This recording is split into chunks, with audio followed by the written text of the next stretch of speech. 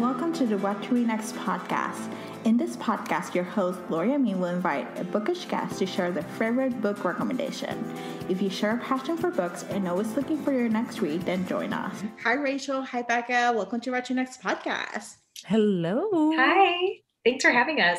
So happy to have you both here. So, Becca, you've been on the show, but Rachel is brand new to the show. So, why don't you just go ahead and introduce yourself, tell us a little bit about yourself, and tell us a little bit about Consensual Podcast.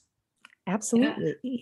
I well, I am uh I am Becca Morgan. So I am one of the authors of season two of Consensual, which is Hookup State of Mind.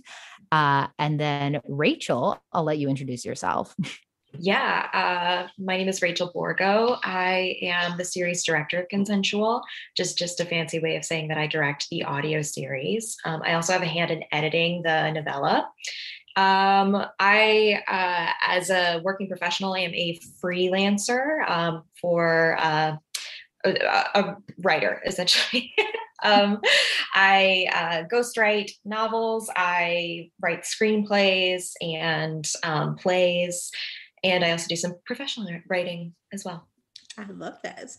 So I really want to talk more about your job, um, Rachel. But first, let's talk about consensual. Becca, tell us like what did this what made you start the podcast and like what should we expect from it? You know, Absolutely. for those who haven't listened to our previous episode. Of course. So consensual started because uh, both Rachel and I are uh, ghostwriters in the romance industry. Um, and as we were writing romance novels, we saw some things that we didn't we didn't really like so much. We didn't see the kind of explicit consent that we wanted to see in the romance industry. Mm-hmm. And we also just felt like some of these characters, it was like the authors were a little bit out of touch. The example I always give is when I, why are we in a city? Somebody's like living in Manhattan and driving their car everywhere. And I'm like, what's going on? No. Like, no. Right. Or like we're living in Chicago and it's like I drive over and I find part, you know, I park right next to her building and I'm like, what? No, you don't. Like impossible. impossible. Right. I'm like, I don't believe this. Or people like being like, I called a cab and I'm like, who's called a cab? in five years. No, you call an Uber. And that's, I mean, that's just a side effect of the fact that, you know, not a lot of romance writers are, you know, generally when people get romance book deals or really are able to start doing that work, they're either they're in their 20s and they're very very privileged or they're a little bit later in their career. So, we wanted to create romance for readers like us and readers like us are also not necessarily readers we're listeners i'm a huge audiobook person mm-hmm. um, but um, i wanted it to be to be more accessible than that um, so we're available entirely for free on Spotify, Apple Podcasts, wherever you get your podcasts. Because at one point, you know, Rachel and I wanted to be listening to these audiobooks because we have to we have to listen to romance to be writing romance or read romance to be writing romance. But I'm not made of money. I can't be buying romance novels every, you know, every month. I don't have that kind of money. So it's accessible, it's consent based, it's it's romance for people who might not think of themselves as romance readers. I love. And so, Rachel, what is the experience like to direct a series? Like, how does that work? You know, uh, it's so much fun. Just to start off saying that, um, I enjoy it so very much. It uh, was a very different experience for me uh, between the previous year, our first season of a 10 week turnabout, and mm-hmm. the second season, which um, unfortunately we began recording during the pandemic. So mm-hmm uh, I say unfortunately, but there was actual actually a lot of good things that came out of it. Um, instead of having everybody in the same room as we did for a 10 week turnabout um, and having that sort of like fun familial element and uh, shooting the shit and just like having a great time recording together, it was very much so one on one. Like I was on Zoom calls or Google Hangout or FaceTime, whatever, whatever the actor preferred, uh, with individual actors, and uh, that gave me an opportunity to spend a lot more time with people as individuals and uh, spend more time working on their characters and discussing the characters and um, finding those little nuances. And it was a blast. Uh, again, very different from the first year, but uh, I I really enjoyed it, and I feel like the actors really got a lot out of it as well. And uh, we created a really, I think, wonderful product. Listening to the podcast now is just a dream because I I hear all these these moments where I remember saying like that was it that was the take good job like to the actor and it it's in the it's in the podcast now and uh, it feels really good to have a, a part in that. I love this. So, what is it like to write for the podcast and then write a novella? Because there are different styles, I'm assuming, because this is full cast audio. So, yeah. So, hookup state, both 10 week turnabout and hookup state of mind, we, um, we've kind of developed a process because we are, uh, no, uh well, I don't have a ton of familiarity with script writing. Mm-hmm. Rachel, on the other hand, has a lot of familiarity with script writing. She's written movies. She's a rock star. Oh my God. But mm-hmm. um, so for both of these books, we wrote a novella first, and you can purchase the novella as an ebook, both 10 Week Turnabout and Hookup State of Mind. Um, but then Rachel takes it, takes the novella, and turns it mag- magically like some kind of wizard into a script. Mm-hmm. And um, it's so interesting because things will change from the novella version to the script version just because you know the he says and she says or um, the dialogue will just be broken up a little bit different. So then we get to go back to the novella afterwards and make it match the script version. And it also it means that the novella gets more and more rounds of edits because as Rachel works with it, she realizes, wait a second, this doesn't sound quite right, or hmm, I'm not sure. You know, it allows us to really dive in and perfect that story before it goes live. I love this. And so let's talk about ghostwriting. So you both are ghostwriters. So how did you end up doing that? You know? Uh, well, both of us uh, were referred. Um, and that's really the best way you can get a ghostwriting job because no one is, no authors are out there like posting on Indeed, mm-hmm. like looking for a ghostwriter. There's something sort of like taboo about it, um, which is silly because it is a legitimate profession. Um, but yeah, we both got our our our ghostwriting gigs through um, referrals and um, have both of us started around the same time. So we've both been ghostwriting for about three and a half years now. That's great. And so let's chat about Hookup State of Mind. So tell us about the story and why should we listen to it? Yeah. So Hookup State of Mind is the stars Cleo, who is a secondary character in season one, 10 week turnabout. And Cleo is a plus size actress and she is she speaks her mind. She is very body positive sex positive will you know shoots from the hip and uh says everything that she thinks.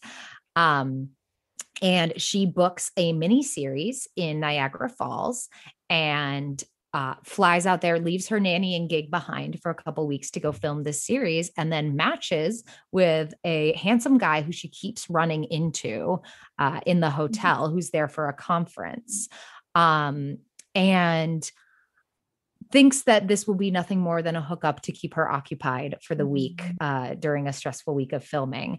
And it turns out to be much more in a couple different ways. I won't spoil the twist because, although I guess the twist is spoiled in the Amazon uh, blurb if you do read the ebook, but there is a twist. And I thought that the twist was obvious at when I was writing it. And then everybody I was talking to as they listened to the podcast or read the book said that they totally didn't see it coming. So That's did you see it? That's right? compliment. I yeah. know. Laura, did you see it coming? Yeah. No, you didn't. okay. A lot of romance, and I'm like, this is unique. So. oh, what unique. a huge compliment. Wow. Because I right, it's so hard as the writer right i see all of the you know all of the clues and the evidence leading up to the twist so i'm like ah oh, yes the writing's on the wall but um, I'm really happy that it was a surprise for other people. I think that just adds a little pizzazz to the to the podcast experience and even to the novel experience. So I like it. hey, I'm glad. I and- love this. So, what was the process of writing or just recording? You mentioned a little bit of recording the pandemic. Like, um, you know, is there anything different that happened? You know, that you wish you were like, you know, compared to season one, you're like, oh, we would like to bring it back after the pandemic, or there are things that you're like, you know, this is great working environment. We can keep doing this this way. I think that both models, like what we did for season one and season two, I think they're both sustainable. And it would be, I think, really wonderful for us to be able to mesh those two models and use it for season three and beyond. Because something that I did miss terribly from season one is that the first rehearsal that we had uh, was a table read. And so we brought in all of the actors, which can you even imagine like having 10 people in the same like small apartment? Like, ah, anxiety. but at that time, that was like chill and cool. So we brought in all of the actors and sat on the floor in a circle. Everybody had their scripts and we read through, I want to say all of the novella. So it was like a hefty, like four hour table read. Um, we had pizza. It was just, it felt very uh, communal and mm-hmm. um, collaborative. So this this this season has been different, but we also are more of like a well-oiled machine now. Mm-hmm. Uh, I work with the the sound engineer very closely, and his and our our rapport has just just definitely improved, and I think Becca could agree to that. Um, we just we kind of are on the same page now um, in terms of like I don't know, I don't know much about sound engineering, right? So I've learned much from him in terms of like what mixing is, what mastering is. And so I think I think that as a whole, like the machine of consensual has improved and i think that we did a really great job with the individual recording sessions like one per actor with season two um, but i am looking forward to in the future when it's safe again having everybody together once again in order to do that sort of table read and um, have that kind of theater feel because becca and i both have backgrounds in theater and mm. uh, that, that that matters to us so I've got a question. How did you two meet? Like, did you, how did you connect it? Okay, I ha- I have to talk about this because this yeah. is one of my favorite things to talk about. So, Rachel and I went to college together, and we were we were both creative writing majors, and we were both involved in theater. Rachel was a double major in theater. I was a theater minor, so we were in some of the same classes and just ran in some of the same circles. And I wanted to be Rachel's friend so bad, like oh my God, I thought she was so cool and she was so funny. And I just, oh my God, like I remember getting coffee together maybe once like end of freshman year but that it just like i don't know it just didn't it just didn't really happen we were in a couple shows together and we had some mutual friends but it just never it just never quite happened and um then we both you know we both ended up ghostwriting we got a little bit you know a little bit closer senior year maybe but we both ended up ghostwriting and I and we had commiserated a little bit on some of the things in the romance industry that we'd like to see change. And mm. so we sat down uh over over a couple beers. Uh what is that over 2 years ago now? Yeah, yeah. Oh my god. Um and I like plopped this binder in front of Rachel and was like this is like my research, these are my ideas, like this is what I think we could build. And then rachel started like coming up with more ideas and things i hadn't even thought of. So and i remember being like nervous to meet up with rachel because i'm like we're not even really like friends like that but whatever. And now rachel is one of my absolute best friends and i'm so grateful for consensual that like even if poof you know even if something were to happen and we were never be able to like make a season three you know or if now i know i have like a friend for life in rachel and i'm like oh my god I wish I could tell freshman year Becca that she finally got to be friends with Rachel. She'd be so stoked. Oh my God. So sweet. I'm always so flattered. This is my favorite story that Becca tells. if, you, you didn't know, um, I love hearing about how great I am. but truthfully, yeah, in college, my priorities were all sorts of effed up. And I missed out on an opportunity to become friends with Becca earlier. And that is a huge regret of mine. And now that we are friends and we kind of have this hive mind that we share, it's just, it feels like fate. It feels like kismet and that we deserve this friendship. yeah, we did. We earned this. yeah, we did. We earned it. I love this. I would tell you, like, this pandemic has taught me how to make friends, like online, like mm-hmm. how to mm-hmm. introduce myself, how to introduce myself in a conversation. But like, I want to just be your friend. You yes. yeah, like, just like upfront. Mm-hmm. You know, like it's like I need connection, you know, and like we have things alike. I see you on social media, like even just a conversation with Sylvia. I'm like, like, oh, you know, like I can connect with you. Like I can see right we're in the same sphere, you know? Right. That's, yeah. I have a friend, and romance honestly has given me, and specifically consensual, has given me kind of some, some unexpected friends because um, this woman, Ella Dawson is her name, and she is absolutely, oh my God, she's so cool. She, um, mm-hmm she had a viral TED talk. She used to work for TED. Um, and she has her first, she's working with an agent right now on her first romance novel and she calls it in terms of like books I'm looking forward to. I like cannot wait to read Ella's book. But I connected with her because she was working for a company that I wanted to work with with consensual. She no longer works for that company, but now she and I are really good friends and you know, we talk regularly and we can talk about romance and um and you know i'm gonna i'm gonna beta read her book and it's right and it's like so unexpected. She lives in new york like we never would have met if we weren't like if it weren't for romance and also if we weren't trapped in our homes desperate for connection with somebody.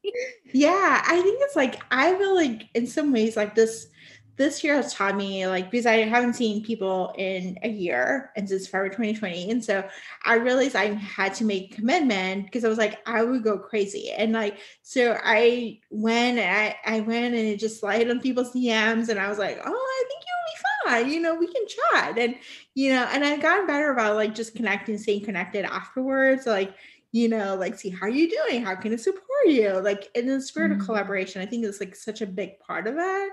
Like it's not like competing against each other. Like I feel like in romance yes. community, so it's like we're helping each other. There's more than enough to go around, you know? Yes. And that is the sort of feminist energy that mm-hmm. I am so about. And that, you know, um, uh, Hookup State of Mind was co-written by me and Amelia J. Rose, who wrote our first season, but mm-hmm. Rachel and I were the editors for 10 week turnabout. And it's all just so collaborative, so building each other up, you know, a rising mm-hmm. tide lifts all boats. So that sort of mm-hmm. powerful feminist energy that I'm totally about. Yeah. Yeah. Just supporting each other. Like there's like there's enough to go around. Like I feel like, you know, every so often I'll hear someone's like getting salty. It's like, oh, you stole my idea or you stole this. And I'm like, uh, you know, like there's enough to go around. Like yeah. there's, there's shine theory, man. Yeah there's always an audience there's always someone who wants to support you you know so let's just support each other. Yes. And let's mm-hmm. slide on people's dms and become best friends you know? yes so I love this. So other podcasts you recommend? I think that could be a fun, you know, thing for our podcast listeners, you know. Yes. So in terms of well, I'll say Audible originals uh mm-hmm. first. Uh yep. I am just because there's one I'm particularly obsessed with, which is Call Me Maybe was Oh my god, there's a follow-up. Yes, it's coming in April. It's yeah. It is. Oh April. my God. It's already April. Holy crap. You're right. I'm like, yeah. it's coming next month. Wait, this month. Um, yes, I'm really excited and I'm really intrigued by it because, right, it's written for audio. Mm-hmm. And I also just love like, I love the hero in that. Give me, give me a good beta hero. I don't, mm-hmm. I'm no taste for alphas. Just yeah. don't, I don't like it. I don't, and I think that's another thing that in like writing romance, having to write alphas gave me such like a, like a distaste for it. I was like, this is icky. If I met a guy like this in real life, I would run the like this is terrible. yeah, no. we're we're a pretty anti-alpha organization. Yeah. like I'm like, no, this is not like no girl, run, run. um so I do love that. I love that. In terms of fiction podcasts, I will gosh, oh man, now I got to pick favorites. Oh, that's tough. I'll come back to that. say a couple, you know. Yeah. I feel um, like the classic is Night Vale. Night right? Vale is a classic. It yeah, absolutely is. That was classic. the first ever fiction podcast I listened to. Um, oh yeah. That just totally opened up a whole world to me. I just feel like I and I I, I haven't done nearly as much research into this world as Becca has. But um, to at that time, I hadn't listened to any other fiction podcast, so it was truly seemed like the first of its kind. I don't know if historically that is true, but um, so original. And I'm I'm a big fantasy sci-fi nerd, so I just just gobbled it up. Truly.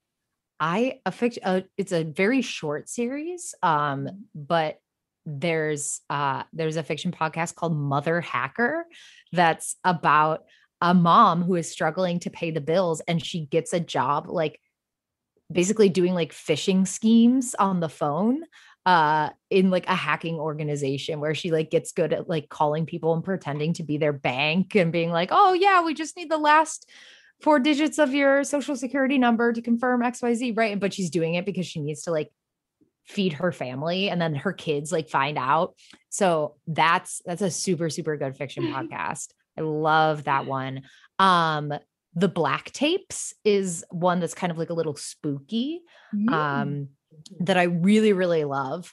Uh, highly recommend that. And then in terms of like nonfiction podcasts uh, that are just like a little bit more conversational, anything by the McElroy brothers is just Mhm. again just like br- my brother, my brother and me brings me so much joy. Las Culturistas brings me so much joy. Just like goofy, goofy podcasts talking about pop culture or talking about or just like that. It just sounds like being in a room with your friends. I love it. I love this. My gosh, I love these recommendations. These Yes. are great.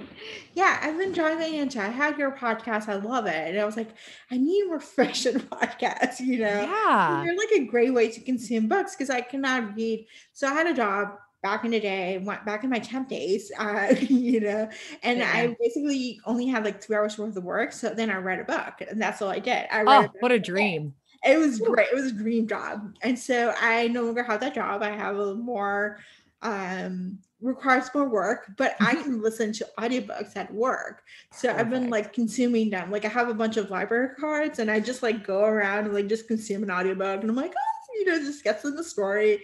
And so fiction podcasts, it's like the same thing, you Yeah. know, just in a podcast form.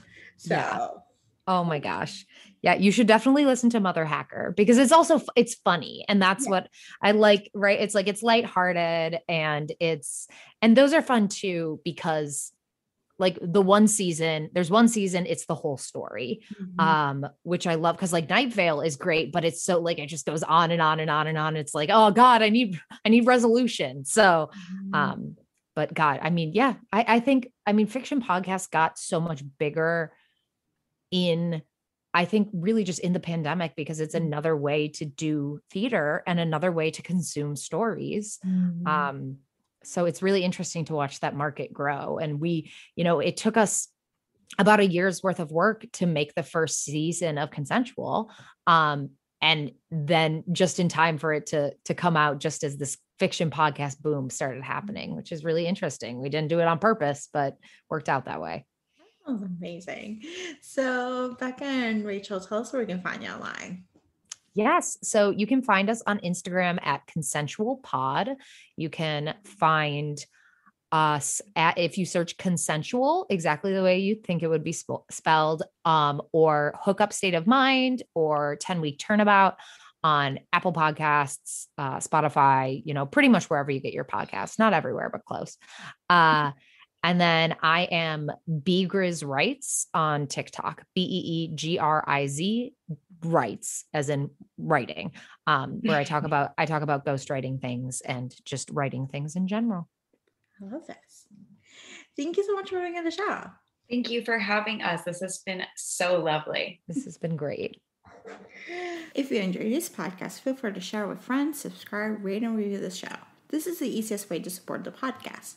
For book recommendations, author interview archives, and other fun book resources and tips, please visit whattoreadnextblog.com. The What to Read Next podcast is part of the Frolic Network. To discover new shows to listen and love, please visit frolic.media slash podcast.